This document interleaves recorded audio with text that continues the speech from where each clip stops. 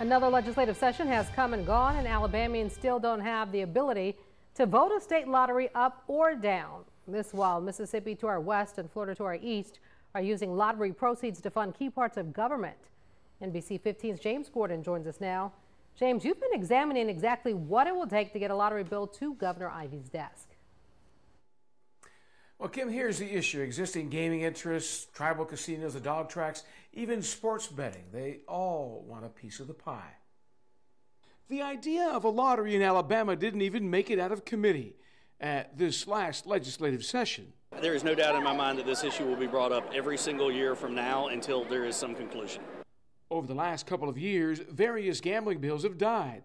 One big stumbling block has been where to allocate the proceeds. Where should the money go? I think education would be a good thing. Mental health these days would be a big thing, and uh, drug programs maybe. But the money is going elsewhere. People are traveling to Florida and Georgia and Mississippi, even Tennessee, to buy their lottery tickets. We go to Florida, we go to Colorado, we go to places and we play the lottery. I mean, we are responsible lottery players, but you see what it does for their education systems and how it helps the state. I think it's I think it's a good thing.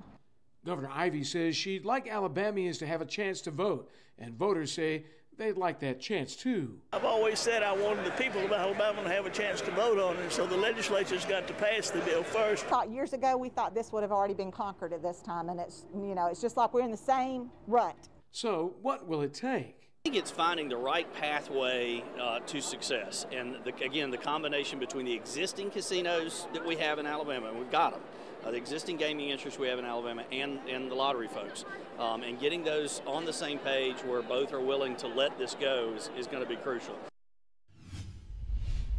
It's never ending. Alabama is one of five states that doesn't have a lottery. The other states are Alaska, Hawaii, Utah, get this, Nevada. But of course, they've got gambling. For now, we're live in Baldwin County. James Gordon, NBC 15 News.